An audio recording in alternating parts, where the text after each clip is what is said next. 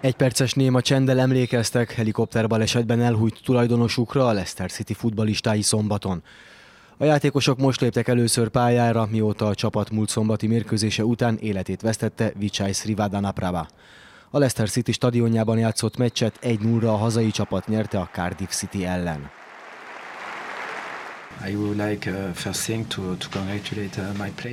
Először is szeretnék gratulálni a játékosoknak, hogy ilyen körülmények között a legjobbat nyújtották. Ez is csak egy meccs volt, egy jó meccs nekünk. Sok helyzetünk volt, megérdemeltük a győzelmet, és ez egy fantasztikus érzés, mondta a csapatmenedzsere. And at the end, it's a fantastic feeling.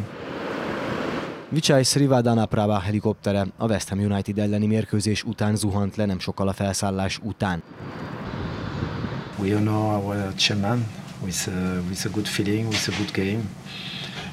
Jó érzéssel emlékezünk a tulajdonosra, jó játékkal, és remélem, hogy a továbbiakban is jól játszik majd a csapat. Ezt kell menedzselnünk, hogy a következő mérkőzések is legalább ilyen jók legyenek. Ez nehéz, mondta a csapat menedzsere. Claude Puel elmondta azt is, a Leicester City játékosai és a csapat többi tagja is tájföldre utazik, hogy bankokban részt vegyenek, Vichai Srivadanapraba szombaton kezdődött temetési szertartásán.